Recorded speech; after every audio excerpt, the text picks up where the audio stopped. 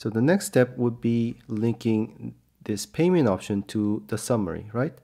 So I would need to do a link from to summary like so and also this one because you don't know if you're going from this screen to the summary or the option one screen to the summary so you need to do both the last page is the summary page and let's just link the pay button to the loading and let's go back here later on before I want to move on I want to link the back buttons right now so let's link it back to the screen before.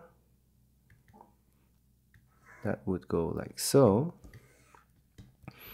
Also, this button goes back and also back like so. Now, you see here that it gets a bit complicated, but no worries, you'll manage. I have a loading screen, as you can see, and I want to simulate the loading because when you do payments, it takes a bit of time loading. So I can go to this screen and link this loading screen to the confirmation page.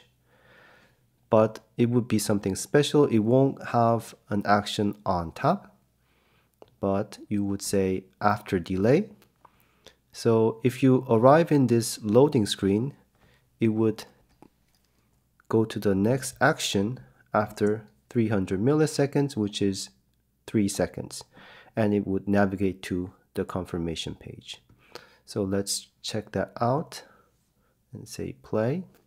I'm at the summary page. I'm going to press pay. Now you see the loading and automatically I'm at the confirmation page.